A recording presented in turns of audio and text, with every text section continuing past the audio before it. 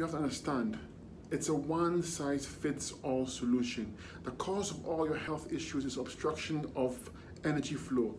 There's something is blocking blood flow, nerve flow, and lymph flow. These three make up energy flow.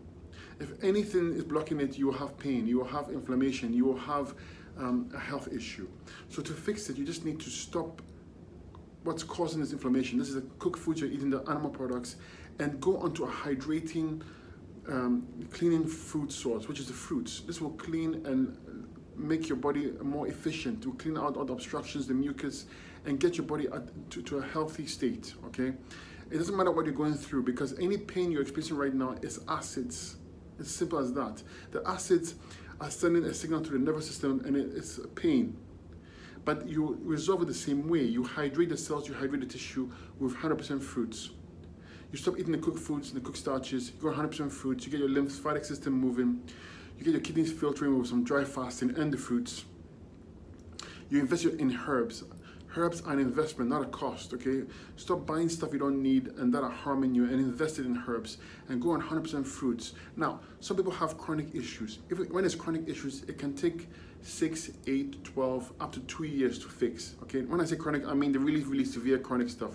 But for most people, uh, 4 to 8 months is a good number to look for of all fruits and you can heal pretty much anything, okay? But who cares? Because the moment you go on fruits for just a week or a few days, you're gonna feel the benefits almost immediately. You're gonna feel better. You're gonna feel stronger, more energy. The cells are gonna get um, the hydration they need, the energy they need. You, the pain is gonna go away, okay? This is the power of fruits and dry fasting and herbs. So I made this video because I know a lot of people are in pain and suffering, but the solution is always the same. You always, always, always switch the diet and go to 100% fruits. 100% fruits means 100% fruits. That means no cheating. That means no protein here. No, it means 100% fruits, melons, um, berries.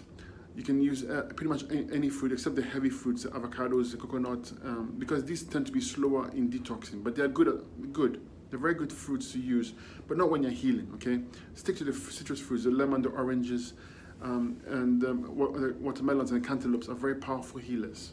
Okay, you do that with the herbs and add some dry fasting in there, and you can pretty much get better with any health condition. It doesn't matter what it is. It's that simple. It's that simple. If you have any questions, feel free to ask below, okay? But always remember, 100% fruits and herbs. That's it. And you're gonna see improvements almost, almost always immediately.